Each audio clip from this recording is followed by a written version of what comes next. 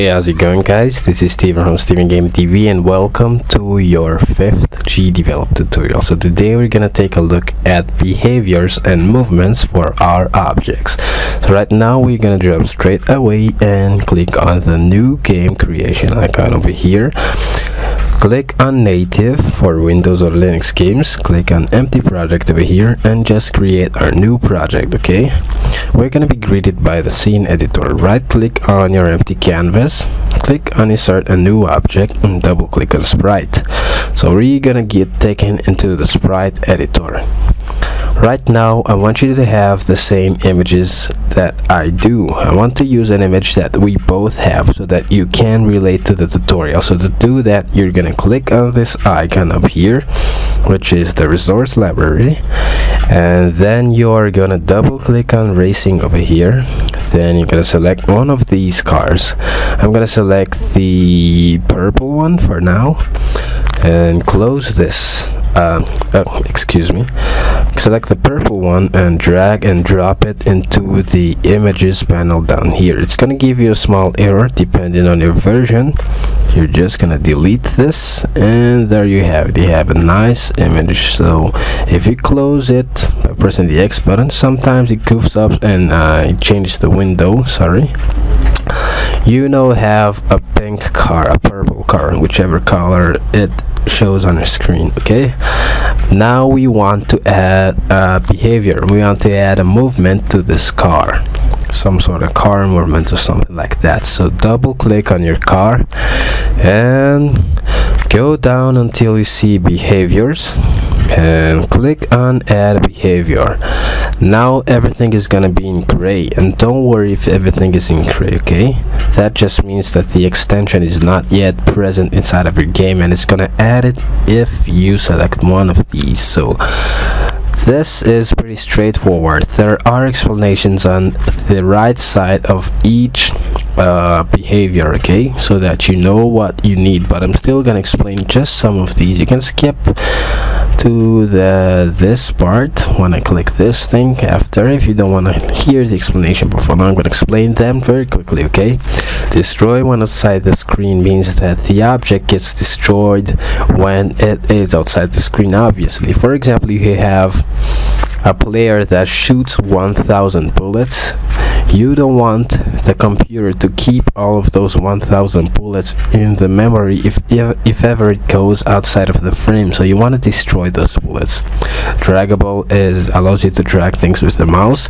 Light obstacle allows you to set something to cast shadows if you have a light engine.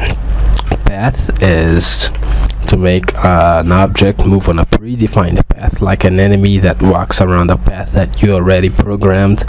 Pathfinding is if you play league of legends or dota or any other uh, games where you click and then your hero goes to that point. That is how it is okay? You click on a you click to create a path or you create a path uh, a custom path then it goes over there. Obstacle for pathfinding is when you play League of Legends or Dota again and there are trees in front of the character but the character has to go in front of that tree so it goes around the tree okay? So the tree is the obstacle. Physics engine is when you want objects to have um, physically based movement platform is platform and platformer are two different things okay? Platformer is the movement that the character has.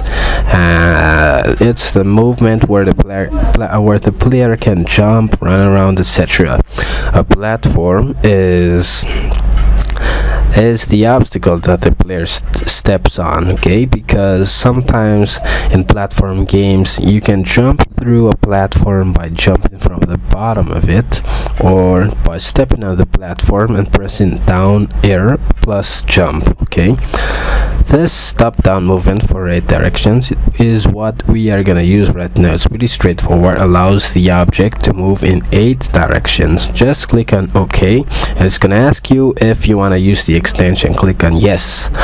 Right now you are gonna be greeted by this thing right here. You're gonna have something new that pops up inside of your properties and it's the top down movement. Here you have a set of settings these settings are what you use what you change to change the behavior of that movement. Acceleration how fast does it accelerate? Angle offset deceleration how fast does it decelerate? How fast does it stop? Maximum speed is uh, the speed that you want to cap it.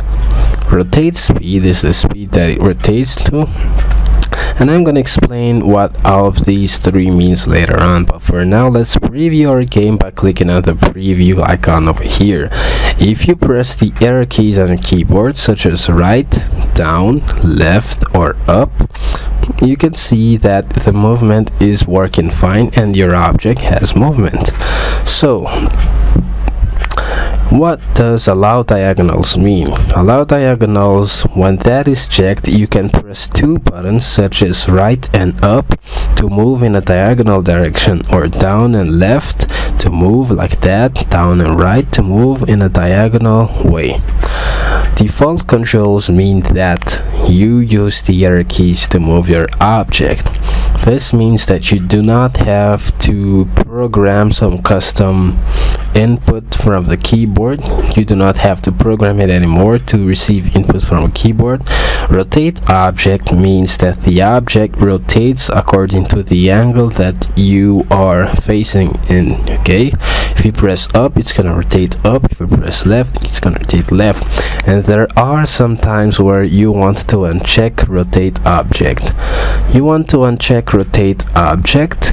Let's uncheck that you want to uncheck the rotate object property when you have a sprite sheet like this. Because if you have a sprite sheet for an RPG game like this by the way thanks to Dragon Epic 94 for this image for us to use in this tutorial if you have a sprite sheet like this you and you enable rotation it's gonna rotate your player as if it was sleeping sideways when you press right or left. And then when you press down it's gonna rotate the character 180 degrees and it's gonna be outside upside down. That's not really what you need what you want right now.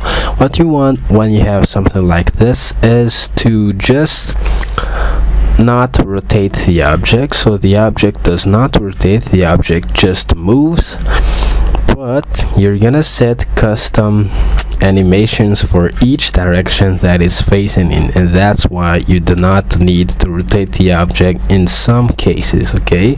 So that is pretty much it for adding behaviors and movements to your objects.